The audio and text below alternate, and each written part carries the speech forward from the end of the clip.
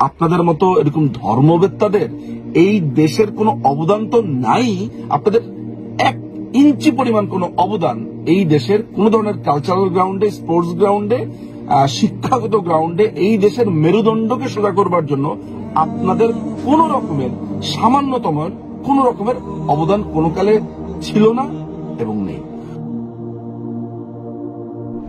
আলেমরা কি জাতির উন্নতির জন্য কোনো ভূমিকা রেখেছে? মাশা আল্লাহ আল্লাহ খুব ভালো প্রশ্ন। আপনারা জানেন আমাদের বড় বড় মন্ত্রী মিনিস্টাররা বলছেন যে আলেমদের কোনো ভূমিকা নেই। এটা তো সঠিক ভূমিকা রাখছে কারা? ভূমিকা রাখছে ডাক্তার ইঞ্জিনিয়ার টেকনোলজিস্টরা তো ভালো কথা। খুব ভালো করে শোনেন।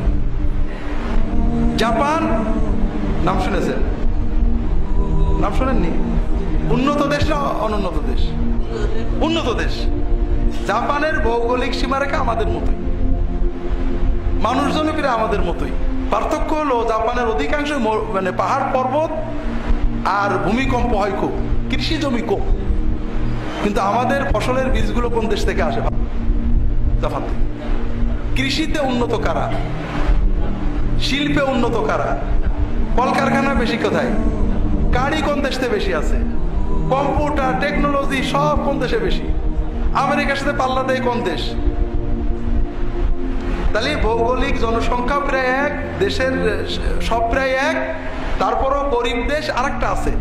উনিশশো পঁয়তাল্লিশ সালে আমাদের এই দেশটা ছিল সমৃদ্ধ। আর হিরোসীমায় বোমা ফেলার পরে দ্বিতীয় বিশ্বযুদ্ধের পরে জাপান কি ছিল? ফকিরের পরেও তস্য ফকির, কিচ্ছু ছিল। সেই দেশটা এখন বিশ্বের বড় আর আমরা সবচেয়ে নিচে এই গরিবদের একটা। এটার জন্য রোগ বের করেন তো বলেন তো এটার জন্য সবচেয়ে বড় দায়ী কে? কারা? আলেমরা তাই না? না, এটা বের করেন না আমি বের করে দিই। দুর্নীতি। কোন সরকার কোন দেশ উন্নত কোনো উন্নত করে না জনগণ করে। সরকারকে দুর্নীতি মুক্ত একটা ব্যবস্থা রাখতে হবে। যোগ্য লোক চাকরি পাবে, দুর্নীতিতে চাকরি হবে না। দুর্নীতির শাস্তি হবে। যারা বিনিয়োগ করতে চায়, তারা স্বচ্ছ বিনিয়োগ পাবে। মালপত্র, খালা, সবকিছু স্বচ্ছ হবে। দুর্নীতি নিয়ন্ত্রণ করেন, জিরো না হলেও টেন পার্সেন্টে নিয়ে আসেন, একটা জাতি হুমু করে উন্নত হয়ে যাবে। কারণ আমি তো আমার টাকা কষ্ট করে বড় লোক শুধু পরিবেশ সরকারকে নিশ্চিত করতে হবে, ঠিক না? এই যে দুর্নীতি আমাদের দেশে, পুকুর চুরি, সাগর চুরি, মহাসাগর চুরি, এটা নাইনটি পার্সেন্ট আলেমরা করেন, ঠিক না? হ্যাঁ? অন্তত এইটি পার্সেন্ট আলেমরা করেন হ্যাঁ? কারা করেন এই ডাক্তার, ইঞ্জিনিয়ার, কবিরাজ, বুদ্ধিজীবী টেকনোলজিস্ট এদের ইতিহাসটা কি? এদের ইতিহাস হলো, খুব ভালো করে বোঝেন, আমি বিশ্ববিদ্যালয়ে পড়াই। একটা টেকনোলজি ডাক্তারকে তৈরি করতে, একটা এক্সপার্টকে তৈরি করতে জনগণের ট্যাক্সের কয়েক কোটি টাকা খরচ হয়েছে। আপনারা বুঝতে পারছেন? জনগণের ট্যাক্সের কয়েক কোটি টাকা খরচ করে ওই মানুষটাকে তৈরি করা হয়েছে। ও এখন নিজের যোগ্যতা দিয়ে কোটি কোটি টাকা লুট করছে। আর একজন আলেমকে তৈরি করতে জনগণের ট্যাক্সের এক টাকাও যায়নি।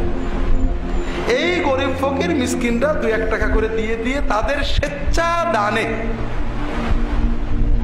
এই আলেমগুলো তৈরি হয়েছে। তাহলে আমার আমরা যে অনুন্নত আর জাপান যে উন্নত এর বড় রোগটা কি? বড় রোগ কি? করাপশন ঠিক না? এই করাপশন আমাদের সমাজে কম করে কারা? মনে করেন একটা ডিসি করাপশন করে না একটা এসপি করাপশন একটা জজ করাপশন করে না। এদের কিছু বৈশিষ্ট্য আছে বলেন তো কি? হ্যাঁ কথা বুঝেছেন? এই মহা করাপশনের সাইলাবের ভিতরে, দুর্নীতির মহাসাগর লুটপাটের ভিতরে, ওই মানুষগুলোই অন্তত কম দুর্নীতি করে বা দুর্নীতি মুক্ত যারা নামাজে যায়, মসজিদে যায়, এই মোল্লা, তিন টাকার মোল্লার কথা শুনে, অথবা তার পরিবার মোল্লা, অথবা সে মাদ্রাসায় পড়েছে। তাহলে একটা মানুষের মৃত্যুর জন্য দায়ী হলো রক্তক্ষরণ। কেউ অপারেশন করছে, কেউ কাটছে, কেউ ওষুধ দিচ্ছে, কিন্তু রক্তক্ষরণ বন্ধ না হলে সে বাঁচতেছে না। আর একজন এসে রক্তক্ষরণটা বন্ধ করে দিল। এই মানুষটার জীবন ধারণে সবচেয়ে অবদান রাখল কে? আমাদের সমাজের সবচেয়ে বড় রক্তক্ষরণ হলো দুর্নীতি।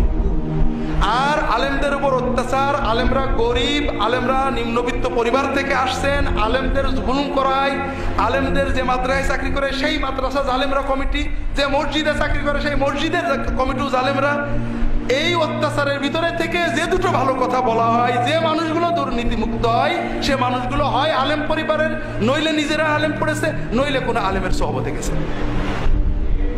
আর আপনি বলেন, আলেমদেরকে সুযোগ দেওয়া হোক, সমাজের মানুষদেরকে মর্যুবকদের মসজিদ মুখে করেন। আমি দশ থেকে পনেরো বছরের ভিতরে বাংলাদেশ দুর্নীতিমুক্ত একটা উন্নত দেশে পরিণত করব। কোনো রাজনীতি লাগবে না, কোনো রাজনীতি লাগবে না। কাজেই আমাদের সমাজের অবদানে এত অবহেলা, এত বঞ্চনা, এত জুলুম নিপীড়নের পরও কারোর মুখ চেয়ে নয়। আলেমরা দুর্নীতির বিরুদ্ধে বলেন, ঘুষের বিরুদ্ধে বলেন, সুদের বিরুদ্ধে বলেন, জুলুমের বিরুদ্ধে বলেন মানবতা সেবার কথা বলেন, শুধু কোরআনের টানে মনের টানে। কাজেই বড় আফসোস লাগে। এই চোর ডাকাতরা বলে আমাদের জাকাতের টাকা খেয়ে ওজনদের চর্বি হয়েছে।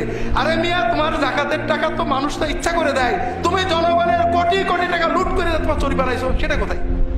এই কথা বলার লোক তো নেই।